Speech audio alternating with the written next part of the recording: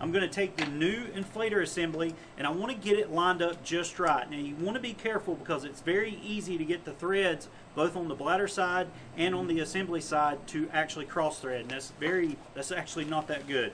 So what I do is I like to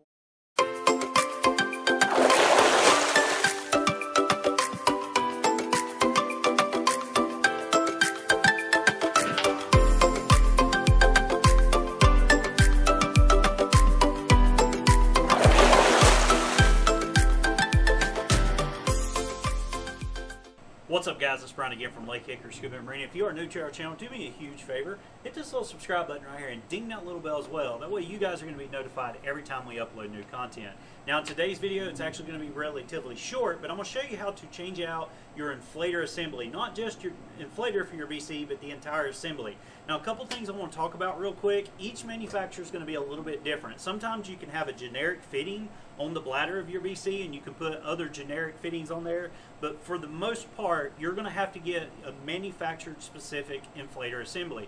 Now there's several reasons that you may want to do this. Maybe one, you want to go from a longer hose to a shorter hose or vice versa, or maybe you want to change the style of hose. You can see this is a much wider hose than this round one is here.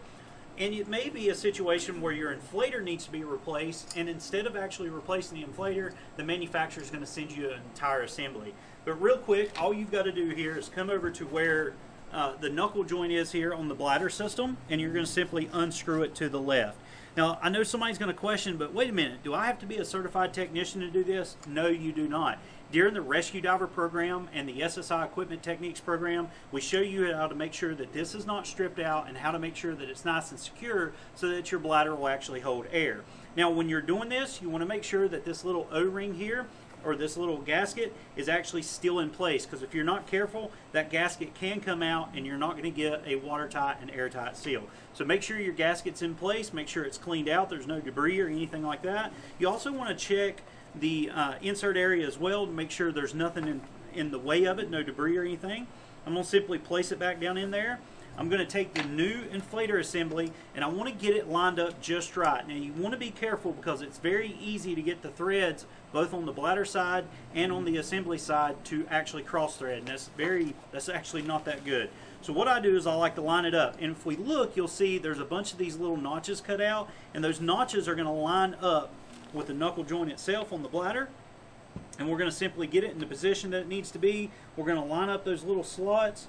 And then before I start screwing it to the right to tighten it, I'm to screw it to the left until I hear it click. And that lets me know that the teeth of those threads are actually locking into place. So I'm to screw it to the left as I'm pressing down. There it clicked for me. And then I'm to start screwing it to the right. And I can test it and look to make sure it's not cross-threaded. It's even all the way around. And then all I've got to do, I can simply orally inflate. And that lets me know whether or not I've got a small leak. Now on this particular one, I do have a small leak, so we're going to take it back off.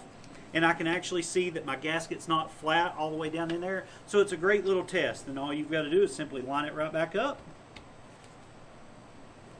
Get her started. tighten it down until it's nice and secure, and then try it again.